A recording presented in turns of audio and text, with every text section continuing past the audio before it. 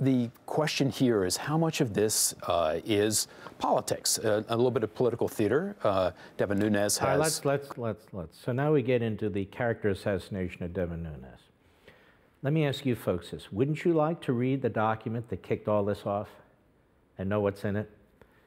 This guy is a top editor for the Wall Street Journal on the news side. Does he sound curious to you? Like he wants to know about it? No, he's jumping right into the politics of it. Neither does this lady who works for Fox. Does she seem curious about it? No, not at all. They jump right to the politics around this.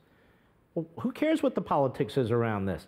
I would like to see this, wouldn't you? I would like to see the arguments made for kicking off the Russian investigation, given all we know now, all we know about Strzok and Page and McCabe and Comey and all the rest of them.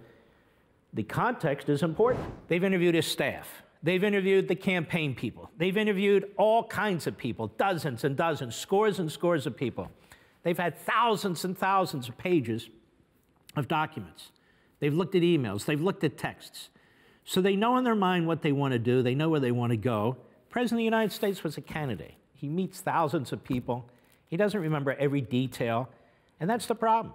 They're going to have all the details after the fact. They're going to piece them together to the extent that they think they are, and then they're going to sit down with the president, whose memory is ambiguous about so much of this stuff because he, he's a candidate. He can't be involved in all the, the, uh, the, the weeds and the intrigue and so forth.